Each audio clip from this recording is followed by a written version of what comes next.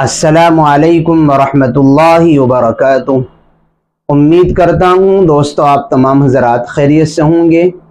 अल्लाह से दुआ है, जहाँ भी आप हैं, अल्लाह आपको खुशी और सलामती के साथ महफूज रखे। दोस्तों, हाजी जो हज करने के लिए तशरीफ़ ले गए थे, वो अपने अपने वतन और मुल्क वापस आ रहे हैं। और जब वहाँ से हाजी हजाज कराम वापस आते हैं तो अपने मुतलकिन रिश्तेदारों घर वालों के लिए सबसे बेहतरीन जो तोहफ़ा लाते हैं, वो जमज़म होता है। चुनाचे मेज़बानी में जब आप किसी हाजी के यहाँ जाते हैं या आपको वो बुलाते हैं तो मेज़बानी में आपके लिए दो ही चीज़ें ज़्यादा पेश करते हैं और वो है जमज़म का पानी और वहाँ की खजूरें।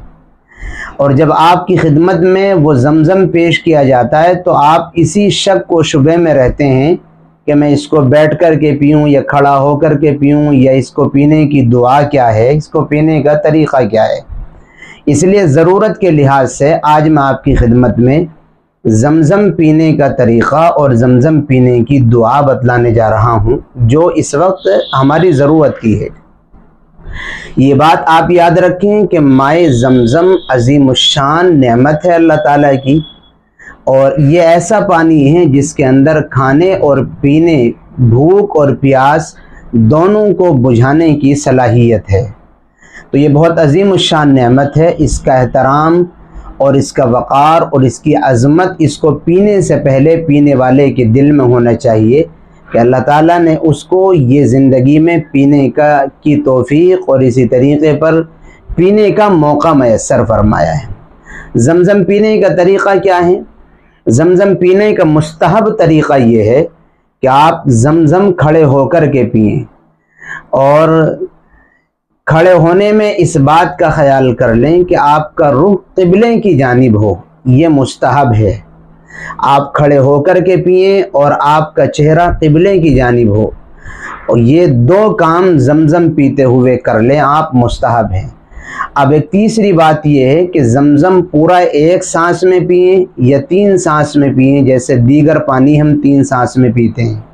अगर जमज़म ज़्यादा है तो फिर उसको एक से ज़्यादा सांस में भी पिया जा सकता है। और अगर थोड़ा है तो आप एक सांस में भी पी लें, वो भी खिलाफ सुन्नत नहीं होगा। जमज़म पीने की दुआ क्या है? जमज़म पीते हुए हमें ये दुआ पढ़नी चाहिए। अल्लाहुम्मा इन्नी असअलु का रिस्क वासिया व शिफा अमिन कुल्लिदा इस दुआ का तर्जमा ये है कि अल्लाह ताला मुझे वसअत वाला, कुशादगी वाला रिस्क दे दीजिए। और फ़ायदेमंद नाफ़े इल्म दे दीजिए और मुझे तमाम बीमारों, बीमारियों से सेहत और शिफा नसीब फरमा दीजिए।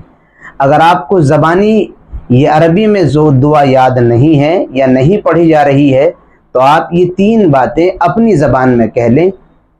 इसलिए कि जमज़म के बारे में हमारा ये अकीदा है और पैगंबर का इरशाद भी है कि इससे बीमारियाँ छट जाती हैं। लिहाजा आप उसको पीते हुए अगर बीमारियों से सेहत के लिए और इल्म नाफ़े के हसूल के लिए और रिस्क और रोज़ी में कुशादगी के लिए दिल में आरज़ू और दुआ कर लेंगे तो अल्लाह की ज़ात से उम्मीद है वो चीज़ें ज़रूर मिल जाएँगी। तो जमज़म पीने का ये छोटा छोटा सा शॉर्ट अंदाज में पूरा तरीक़ा मैंने आपकी खिदमत में पेश किया है। ये बात भी याद रखें कि जमज़म खड़े होकर के, किबला रुख मुँह करके पीना मुस्तहब है। अगर कोई बैठ कर के भी पी लेगा तो गुनाह नहीं है। अगर कोई बैठ कर के पिए तो उस पर तंज न किया जाए, उस पर तान और तशनी न की जाए। बैठ कर पी ले, उसमें भी कोई हरज नहीं है। उम्मीद करता हूँ, मैं आपको अपनी बात समझा पाया हूँ।